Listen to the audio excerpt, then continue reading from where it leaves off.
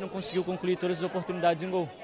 E isso fez com que a gente não saísse com resultado positivo. E realmente, é, o Pepa tem, tem total razão em dizer que a gente sai daqui hoje com um gosto amargo. Poderíamos ter saído com os três pontos, que era o nosso objetivo, mas infelizmente é, não foi o suficiente e nós pecamos mais uma vez.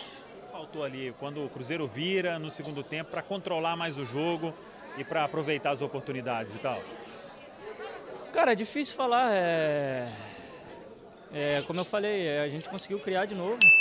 Infelizmente, nós pecamos nas finalizações. Eu acho que a gente não está conseguindo matar. A gente teve a oportunidade de matar o jogo para ficar com, com um jogo mais tranquilo e controlado.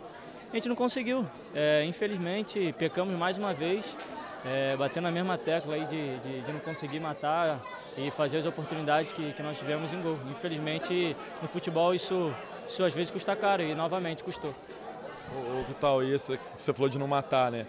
Até porque os adversários, quando eles vêm, eles não querem saber, né? Eles querem passar por cima do Cruzeiro. É, com certeza. É, eu costumo dizer, o Campeonato Brasileiro é um campeonato muito disputado. E à medida que, que você vem e consegue fazer bons jogos e, criar oportunidade, você tem que matar. Porque senão isso, isso custa caro. E como eu falei, mais, mais uma vez custou. Nós pecamos e mais uma vez ali na, na, finalização a gente não conseguiu concluir as oportunidades em gol. Isso custou caro para a gente mais uma vez.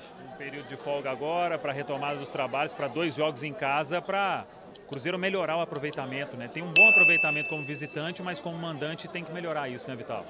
É, agora é, é ter esse tempo aí para descansar e quando retornar da folga trabalhar para que a gente possa seguir evoluindo. Agora a gente vai ter, ter um bom tempo aí para a gente conseguir é, trabalhar, melhorar é, para que a gente possa retornar para os próximos jogos com a cabeça boa, para que a gente possa é, retornar o, o, caminho das vitórias, que, que, é tão importante.